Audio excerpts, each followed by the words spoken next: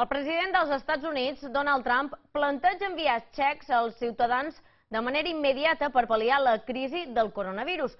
El pla d'estímul podria sumar els 850.000 milions de dòlars. Aquesta iniciativa, juntament amb les mesures del govern d'Espanya, ha injectat optimisme a la borsa, que ha tancat avui dimarts després de guanyar el 6,4%. És la major pujada des de desembre de 2018.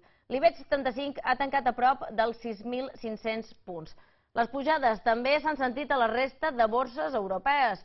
París, Londres, Frankfurt i Milà han tancat en guanys de més del 2%.